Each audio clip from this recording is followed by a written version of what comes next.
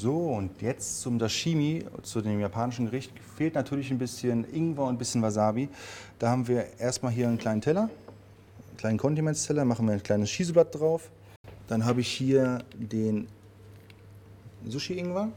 Ja, und dann natürlich, in unserem Fall, haben wir dieses wunderschöne Exemplar hier, nämlich frischen Wasabi.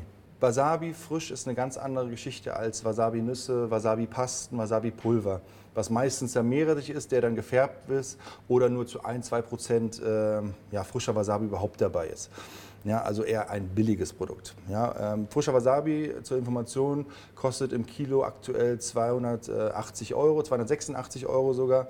Ja, und ist damit natürlich unheimlich ähm, teuer aber reicht auch ein bisschen. Ja, also aus der Knolle kriegt man schon ein bisschen was raus.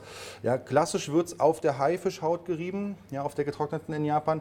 Ich habe jetzt hier so eine kleine Metallreibe, die so kleine Zacken drin hat und äh, reibe das jetzt wie eine Acht. Oder auch im Kreis kann man es auch machen, dass das packt. Und was passiert ist einfach, dass man so ein ganz feines kleines Mousse kriegt.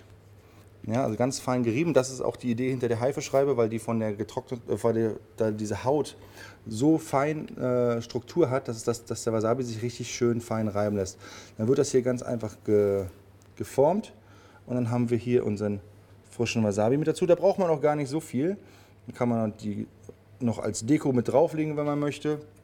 Ja, der eine oder andere wundert sich jetzt wahrscheinlich, warum der Wasabi jetzt eher weißlich ist oder nicht so grün ist. Es kommt immer davon, dass wir natürlich den Wasabi unten anfangen zu reiben. Und je weiter der unten ist, umso weißer ist er. Ja, also da, wo er gerade wächst.